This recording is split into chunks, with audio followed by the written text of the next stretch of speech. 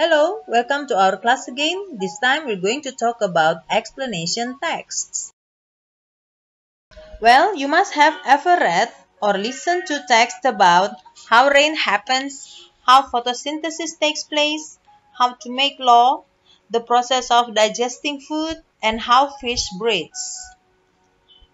There are examples of explanation text topics. Please read an example of an explanation text. How fish breathe. Different from mammals, which use lungs, fish use gills to breathe. They use gills to remove oxygen from water and absorb it into their body. Without these organs, living underwater is impossible for fish.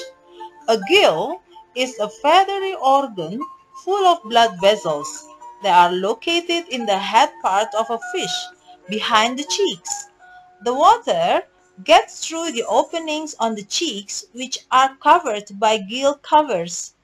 A fish breathes by taking water into its mouth and forcing it out through the gill passages. The blood passing through the gills is pumped in the opposite direction of the water flowing over the gills. This allows the blood oxygen level to be less than the oxygen level in the water. Oxygen will always want to move to wherever lacks oxygen. This is also known as diffusion. The oxygen can then attach to hemoglobin, a protein in red blood cells that distributes oxygen throughout the body.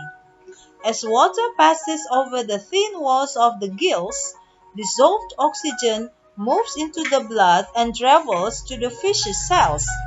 Gills are very important for fish. The respiratory organs help fish skim oxygen from water to keep them alive. This is one of many amazing things found in nature. Let's analyze the text. This text contains three parts. The introduction, explanations, and conclusions.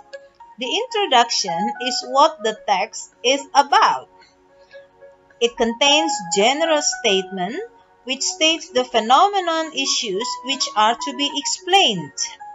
In this paragraph 1, we can understand that the general statement is the second sentence.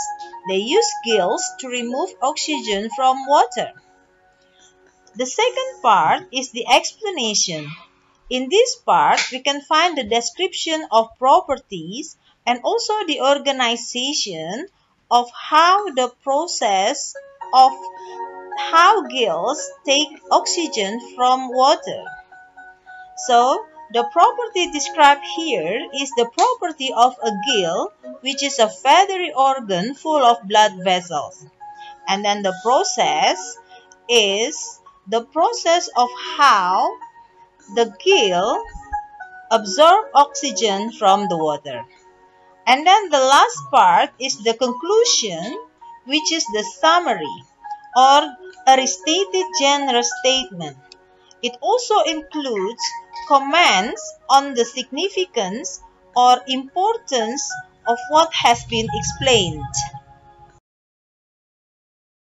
Therefore, we can conclude that the generic structure of explanation text contains introduction, what is the text about, explanation, which include a description of its history, properties, etc., and also the organization, stating a series of steps which explains the phenomena.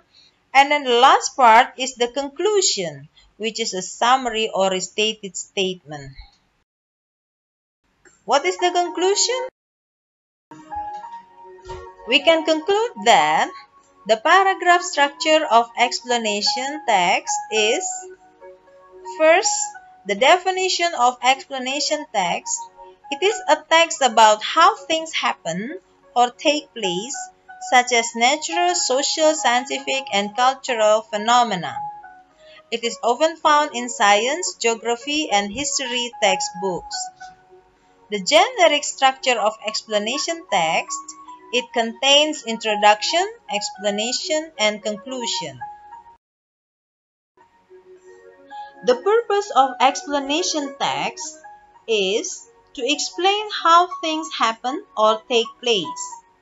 And the topics are about natural, social, scientific, and cultural phenomena.